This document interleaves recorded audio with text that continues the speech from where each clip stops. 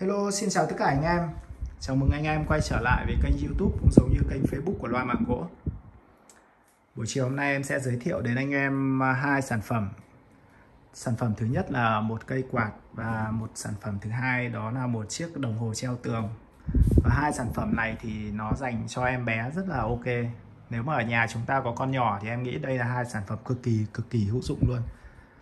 Thứ nhất em sẽ giới thiệu về cây quạt đây là cây quạt nội địa Nhật. Nó chạy à, nguồn điện là 100V và nó có sử dụng cái điều khiển từ xa, như anh em có thể thấy. Con này thì nó có hộp số là 6 số. Đó. Anh em có thể thấy chúng ta vừa có thể điều khiển ở trên à, remote, vừa có thể điều khiển ở trên cái à, cái bàn phím ở đây. Đó. Thì quạt này nó cực kỳ êm và nó có một cái tính năng rất là hay đó chính là cái, trên cái remote anh em thấy có cái nút này không? Đó.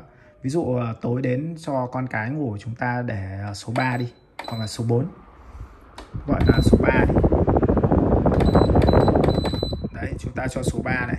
Đấy, xong rồi chúng ta nhấn cái nút này. Đó.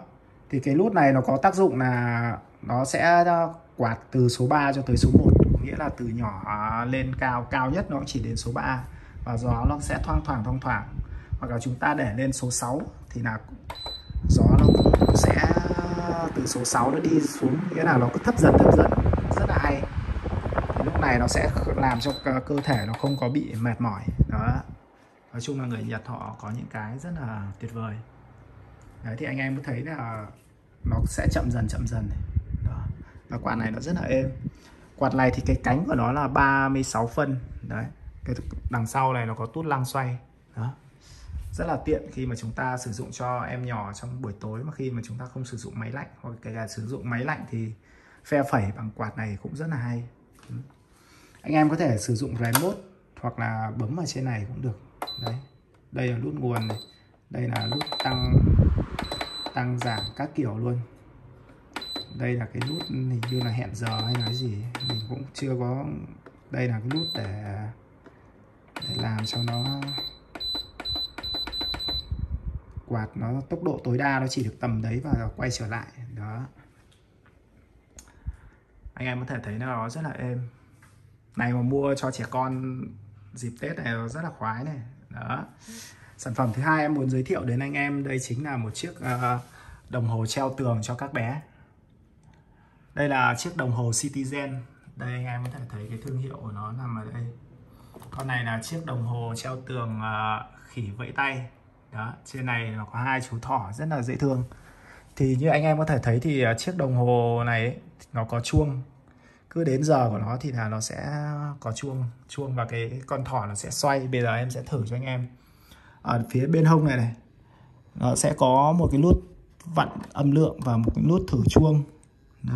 hoặc là một nút tắt tắt chuông luôn. Cũng có luôn, có on off. Chúng ta bấm. Đó, anh em có thể thấy.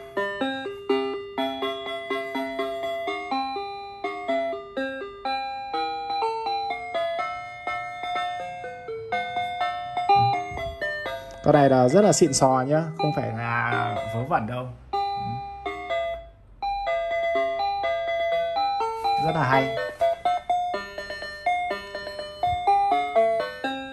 Để bấm xem nó có điệu nhạc này nữa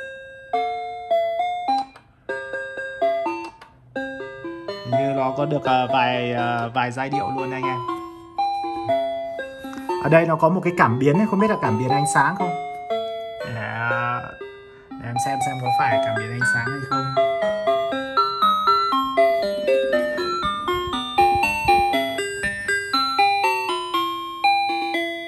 Được. con này nó sử dụng hai quả pin đại, một quả pin chung. Ừ. Đây, trên này là loa này. Bố mẹ nào mà mua cho các bé về để treo ở trên cái nhà mình thì rất là đẹp. rồi anh em nào mà yêu thích uh, chiếc quạt và những cái uh, đồng hồ này thì có thể liên hệ với em nhé. Cảm ơn tất cả mọi người.